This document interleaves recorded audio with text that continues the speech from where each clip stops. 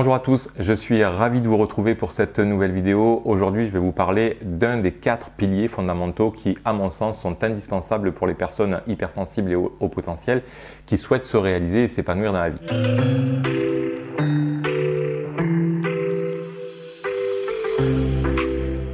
Alors vraiment, ça c'est des choses que j'aurais adoré connaître il y a environ 20 ans en arrière ou peut-être plus, hein, mais qui m'auraient évité bien des déboires, bien des difficultés émotionnelles, bien de vivre de nombreuses crises d'angoisse.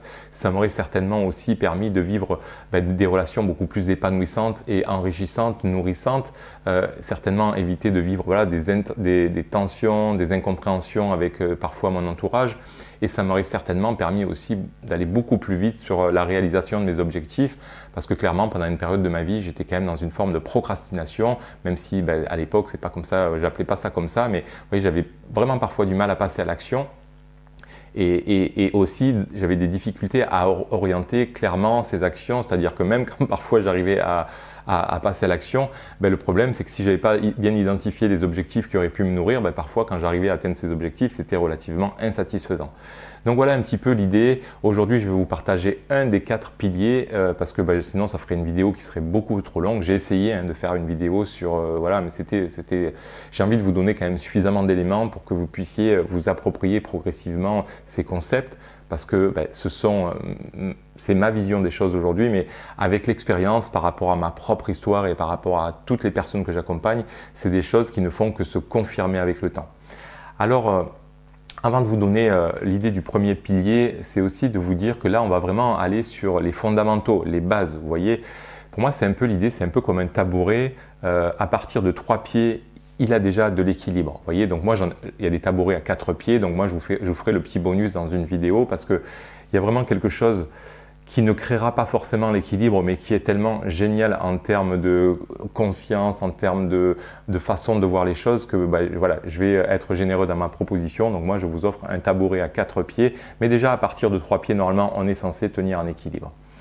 Parce que pour moi, vous voyez, dans la vie, il y, a, il y, a, beaucoup de choses qui vont être importantes dans votre parcours, dans votre chemin de vie, et parfois il y a des choses qui seront même indispensables, mais qui ne feront pas forcément partie de vos fondamentaux.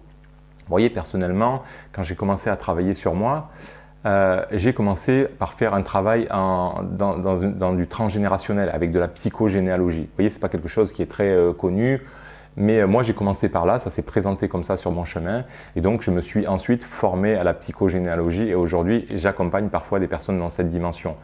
Mais ça, c'est quelque chose qui euh, parfois est indispensable de faire parce que ça pacifie quelque part des nœuds qui sont sur l'arbre généalogique, donc ça nous libère quelque part, nous les descendants, ça libère aussi d'une certaine manière les ancêtres. Mais euh, c'est des choses, une fois que c'est fait, vous voyez, vous n'avez plus besoin de revenir sur euh, le nœud que vous avez dénoué, etc. C'était peut-être un, indispensable à un moment T, mais après, une fois que vous avez dénoué ça, vous n'avez plus besoin. Là, ce que je souhaite vous partager, c'est vraiment quelque part des choses avec lesquelles vous êtes censé, à mon sens, vous accompagner quotidiennement et ce, jusqu'à la fin de vos jours. Vous voyez, ça c'est vraiment les, les, bases, les fondamentaux. Parce que ce que je remarque aussi, et ce que j'ai moi-même fait, hein, mais parfois, on va chercher à, à, à, dénouer des choses dans des subtilités. Vous voyez, des fois, les, personnes que j'accompagne commencent à me parler du 15e étage, si on représente ça en forme de bâtiment, et ils me disent, voilà, moi je suis au 15e étage, là j'ai quelques difficultés, et puis j'aimerais atteindre le 16e étage pour pouvoir grandir, évoluer et m'épanouir davantage.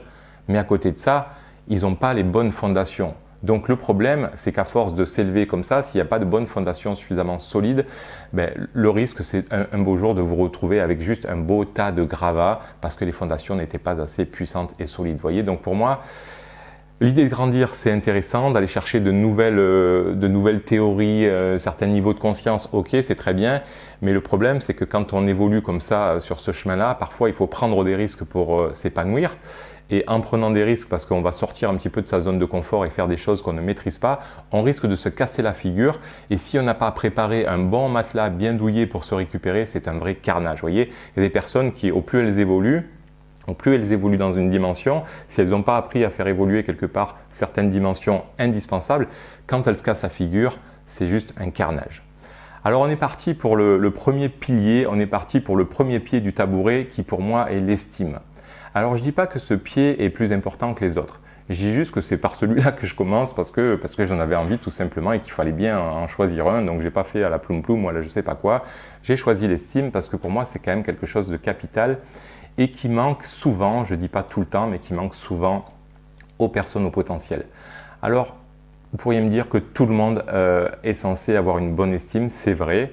Mais ce que je constate aussi euh, très souvent, et c'est ce que j'ai pu aussi intégrer dans ma réalité, et surtout pour les hauts potentiels, c'est que les hauts potentiels ont des idéaux relativement élevés. Vous voyez, je ne sais pas si c'est votre cas, mais euh, en principe, il y a une forme de lucidité sur les choses, sur la vie, que ça soit lié à vous-même et, à ce qui vous entoure. Hein. Des fois, c'est à l'écologie, que ça soit à la dynamique relationnelle, que ça soit à, à, vos propres exigences intérieures de ce qui doit être fait, de ce qui doit être bien, etc. Et par conséquent, au plus vos idéaux vont être élevés, en principe, au plus vous allez vous évaluer en fonction de ces idéaux. Et pour moi, c'est vraiment une grossière erreur parce que du coup, souvent, ça crée beaucoup plus de tension, ça, crée beaucoup plus de, critiques, de jugements, de dureté. Et moi, ce que j'observe souvent, et ça a été mon cas pendant de nombreuses années, mais c'est que ça, ça crée, voyez, un rapport relativement dur avec nous-mêmes nous sommes durs avec nous-mêmes parce que même si nous faisons des choses relativement bien, eh bien c'est jamais assez, il y a une forme d'insatisfaction, on s'en demande des fois beaucoup trop et plutôt que de prendre ces idéaux comme une direction vers laquelle on peut tendre, eh bien on se les demande dans le moment présent. Donc pour moi, la, dynamique, c'est de garder vos idéaux parce que vous voyez, par exemple, pour envoyer des, euh, personnes dans l'espace ou pour fabriquer des montres suisses, il faut quelque part un certain degré de perfection, il faut des idéaux élevés.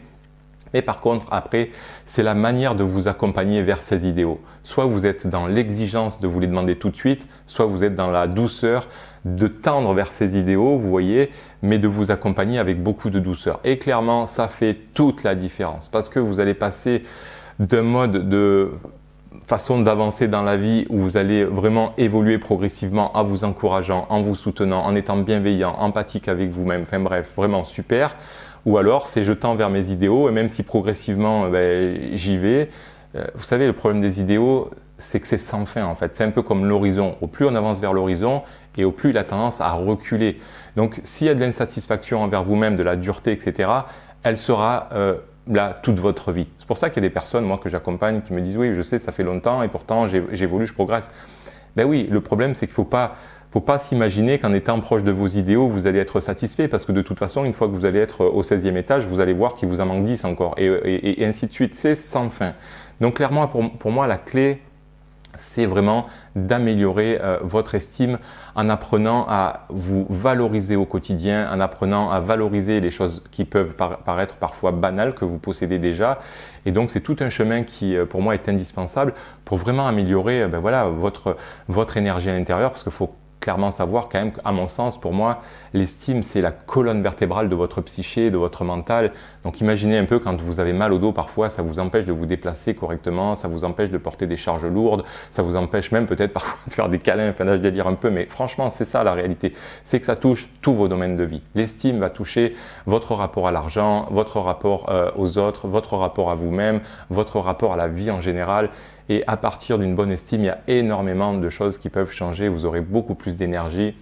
Vous aurez également aussi beaucoup plus de capacité à prendre des risques. Parce qu'imaginez un peu quand on manque d'estime, euh, quand on est, euh, je ne sais pas, en train de prendre un risque, euh, le problème c'est que quand on se casse la figure, ce qui est indispensable quand on prend un risque, parce que sinon, ben, c'est pas une prise de risque, on est déjà en train de faire quelque chose que l'on maîtrise, eh bien il y a de la chute. Et si vous n'avez pas une bonne estime, la chute est juste fracassante. Voilà un petit peu l'idée. Le truc, c'est que parfois, alors je pense que les hauts potentiels sont souvent conscients euh, de ces exigences-là et de leur euh, difficulté à être vraiment douce avec elles-mêmes. Mais c'est vrai que parfois, le problème de l'estime, c'est qu'elle ne se révèle que dans des contextes particuliers. Moi, j'ai évolué pendant un certain nombre d'années, euh, ne pensant réellement pas que je manquais d'estime, mais parce que j'étais dans un travail où je gagnais relativement bien ma vie, ma vie était beaucoup plus cadrée, etc. Et donc forcément, euh, on va dire que l'environnement me, reflétait une belle image de moi-même, voyez. Puis quand j'ai choisi de changer de métier et que je me suis orienté dans l'accompagnement des personnes, ça s'est pas passé tout à fait comme je le souhaitais. Et donc la vie m'a pressé comme un citron pour euh, quelque part euh, m'éclairer sur les rapports avec moi-même où j'étais dur, où j'étais en manque d'estime, etc.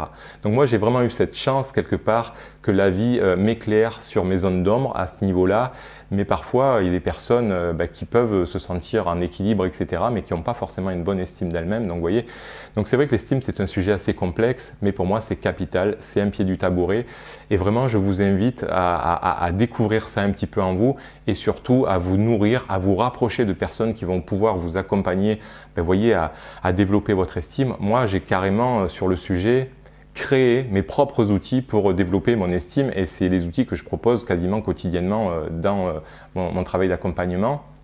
Parce que en tant que haut potentiel, eh bien réellement tout ce que j'ai pu euh, ben, chercher dans les livres, dans tout ce que j'ai pu chercher avec certains thérapeutes, etc., ça ne fonctionnait, ça ne fonctionnait pas pour moi. Vous voyez, il y avait, c'était très conceptuel et il manquait quelque part quelque chose qui permettait d'intégrer cette notion-là dans ma chair, dans mon ressenti, parce que l'estime c'est pas quelque chose qu'on s'improvise, c'est pas quelque chose qu'on intellectualise, je vais y arriver, c'est vraiment quelque chose que l'on ressent. Et pour ça ben moi j'utilise des outils que je mets. Alors quand je dis des outils, c'est en fait c'est trois fois rien, euh, c'est hyper simple mais c'est le c'est le fait d'être capable de se valoriser au-delà de quelque chose de conceptuel et de théorique dans sa chair donc euh, voilà, moi une fois que j'ai compris ça, euh, je le mets en place. Je pourrais pas en parler là parce que ça serait quand même beaucoup trop long. Ça veut pas dire que ça, prend des heures, mais j'aurais pas le temps de faire la vidéo sur le sujet. Mais en tout cas, si vous êtes sur ce chemin, euh, vous pouvez me contacter, vous pouvez regarder des vidéos sur le sujet, vous pouvez vous nourrir comme vous voulez, mais le but c'est de le faire régulièrement et surtout de le faire de manière efficace, voyez. Mais vraiment, pour avoir une bonne estime de vous-même, et je vous garantis, c'est une garantie, une certitude, votre vie ne va faire que s'améliorer, vous allez euh, apprendre beaucoup de choses sur vous-même, vous allez avoir un rapport complètement différent aux autres, vous allez pouvoir avoir beaucoup plus d'énergie pour passer, euh, voyez, dans vos projets avec beaucoup plus d'efficacité, etc. Enfin là, je suis en train de m'emballer un peu, mais sur mes propos, mais sur mon rythme de parole, parce que la vidéo, sinon elle va être trop longue. En tout cas, voilà, j'espère que cette vidéo vous parlera, j'espère que ça sera pertinent pour vous. En tout cas, mettez vraiment, vraiment, vraiment, vraiment beaucoup de valeur sur ça. Parce qu'après, entre guillemets, il y a plein de choses que vous allez peut-être avoir envie d'aller chercher pour vous épanouir, etc. Mais si vous n'avez pas cette base, franchement, non, je crois que ça ne marche pas. C'est juste pas possible. voilà. En tout cas, j'espère que cette vidéo vous aura plu. N'hésitez pas à laisser un petit commentaire, à partager un petit peu euh, vos ressentis, vos impressions, peut-être euh, ben, vos expériences de vie en fonction de vos manques d'estime ou euh, de, l'évolution de votre estime. Euh, vos commentaires serviront aussi, vous ne le faites pas que pour moi, moi je réponds systématiquement à vos commentaires et à, vos questions, mais vraiment vos commentaires vont permettre aussi peut-être à d'autres personnes de mettre de la valeur sur euh, ce contenu. Et puis n'hésitez pas à partager, à liker éventuellement, ça permettra à cette vidéo aussi d'être touchée par plus de monde qui sont des fois dans des difficultés similaires aux vôtres. Et puis euh, ben moi je reviens très prochainement vers vous pour le deuxième pilier on avance ensemble. Je vous souhaite un bon cheminement, une belle valorisation au quotidien et je vous dis à très bientôt. Bye bye, salut